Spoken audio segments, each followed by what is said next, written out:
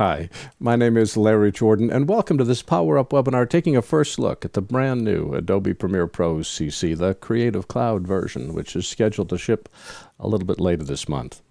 This really isn't a training, it's more of a guided tour to show you some of the new features that Adobe's been working on. We'll have a lot more to say in coming weeks after the product itself ships. There's so much to talk about and so much to show. Can't wait to get started, so let's take a look. This is more of a guided tour than a training. Adobe is scheduled to release this version on June 17th. And uh, what I want to cover today is uh, go through some of the operating system requirements, a couple of the things that I can talk about but can't show, overview the new interface, talk about ingest, linking and relinking, editing and trimming enhancements, and effects and monitoring. And oh gosh, I've got like 17 pages of notes, as much other stuff as we can get covered in the time we've got together today.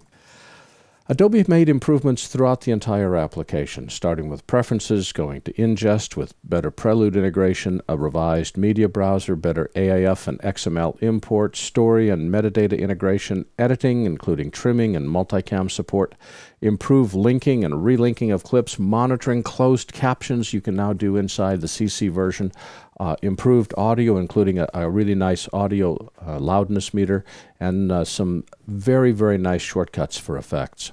Let's shift over to effects. See this badge right here? When you click it, it says, do you want to change the motion settings, opacity settings, or time remapping settings? Let's just say, hypothetically, I want to change the motion settings for rotation because it's really obvious. I'm going to make this bigger by putting my playhead in the header and just scroll wheeling. See this white line?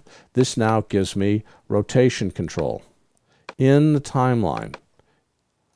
Is that not cool? Rather than have to select the clip and go up to the effects controls and go down to what you need, wrong. Just click the badge, select the setting you want to adjust, rotation, and grab it and drag it, and you can change the rotation of that clip. To reset it, I'm going to go back to the effects setting and just click our reset button, which is this curved hooky arrow thing. Go back to where we were. That's really nice. Every clip has an effects badge on it, not just video effects, but notice down here we've got audio effects and audio filters as well. Let's just apply, um, let's do a 50% scale here, and let's do opacity of, say, 50%. I'm picking something obvious. Go up to the Edit menu, copy your clips, Go to the New menu, go up to Edit, Paste Attributes. Ta-da! You don't have to paste all the effects. You say, I just want to paste motion. I don't want to paste opacity. I don't have any audio I care to, to add. I can select what I want. I can select individual features. Click OK. It pasted the scaling. It did not paste the opacity. Again, to reset a clip, go up to the effects controls, click the hooky arrow, and we're back to where we left off. Oh, there is a keyboard shortcut for that. Notice that copy, obviously, Command C, paste attributes, Option, Command V. Why Option, Command V? Because Command V is paste. Option gives you the options to decide what to paste. That's the little things, just make me giggle.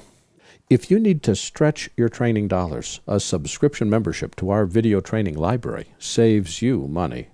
You can access all of our videos for a low monthly price of only $19.99. This gives you access to more than 500 movies, dozens of hours of training, all in depth and all up to date. Plus, members can attend all of our Power Up webinars for free. Our training covers Apple and Adobe software. We update it every week, and for more information, visit larryjordan.biz slash subscriptions. This has been an excerpt of a recent Power Up webinar. For the complete version of this online training, please visit our store at larryjordan.biz slash store and look for Webinar 102. Thanks.